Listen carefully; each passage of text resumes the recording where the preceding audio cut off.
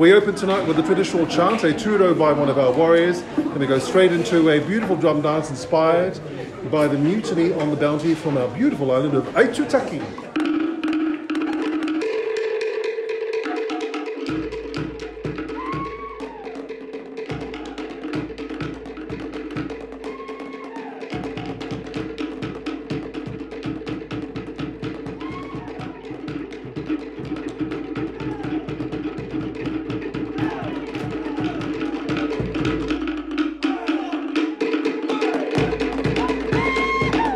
Going to be uh, all of a sudden we're back into business. It's going to be a gradual increase.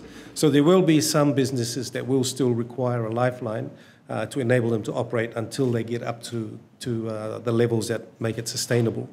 Uh, so we're looking very carefully at this, and if there is a need to extend those lifelines out beyond June, uh, certainly that's something that we will do.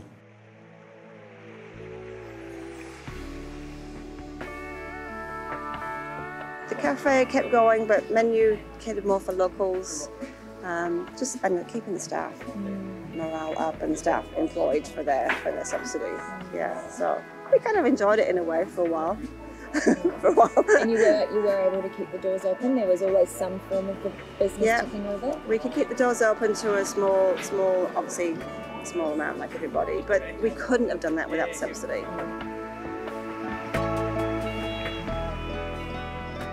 I also would like to thank government uh, for for the, the assistance that they gave all businesses on the island, and I'm sure uh, the islands and the you know outside of Rarotonga as well. Uh, so that that worked out well. Otherwise, we would have just shut right down and waited for for the bubble to reopen. I've only got five staff left out of 16 and um, uh, they all gone to New Zealand for uh, for work. now we can't respond quickly enough. Our, usually our turnaround and response times for reservation bookings and inquiries is within four hours. We've never had the demand that we've had right now.